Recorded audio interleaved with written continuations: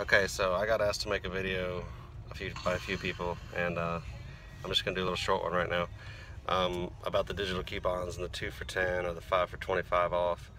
Now, the way the two for ten and five off, and five off 25 work is, you know, you want to get your, and this is just for you know newbies out there, you want to get your total before coupons before you use any coupons, digital paper, whatever, if you're using the 2 for 10, you want to get your total right at 10 or $11. Same thing with the 5 for 25, you want to get at 25 or $26. It doesn't make sense to get your total before coupons to $17 and use a 10, 2 for 10. You know, it's not, you're trying to, you're trying to get out the door with the least amount paid, right?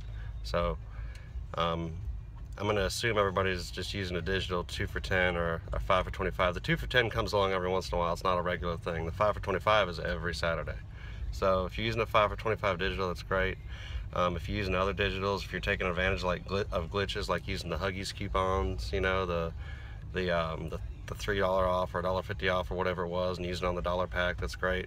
But when you use the digital coupons, plan out your run. You know, um, just kind of do a loose estimate of the taxes to where you got you know what you're getting before coupons is gonna you know is gonna be 10 or 11 dollars clip those coupons, go up to the register, you hand in your most expensive item for, your most expensive item first down to the cheapest, okay? Um, there's lots of little weird people, little myths people have and things like that, but the way that, the reason that you do that is I find that the larger item gets more taken off of it due to the algorithms that the coupon, the digital coupon system uses. So those two dollars are going to, more is going to come off that higher priced item than the, the lesser priced item.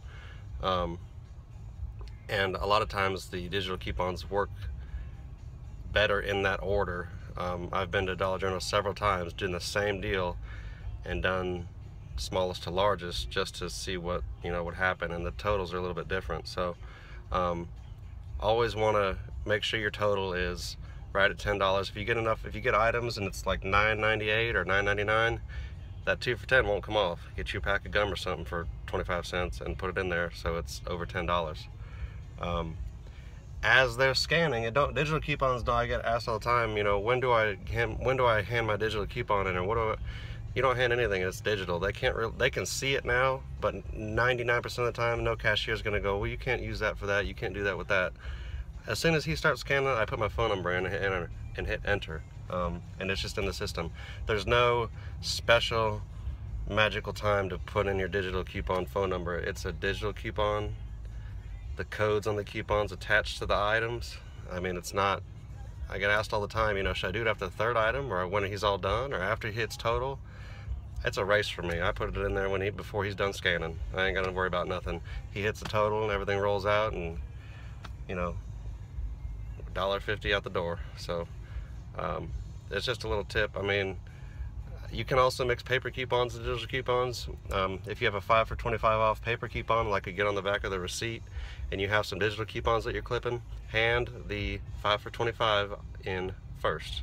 Because if you use the digital coupons first and your total is at $25, it's going to take all that money off and your 5 for 25 will not work because your total is less than $25. So make sure that you hand that paper coupon in first, let him scan it so it's already affects your total and then put your number in for the digital coupons. That's only if you're using a 5 for 25 off paper coupon. So most y'all probably already know all that, but I get asked those questions every day. So anyway, hopefully that helps. Thanks.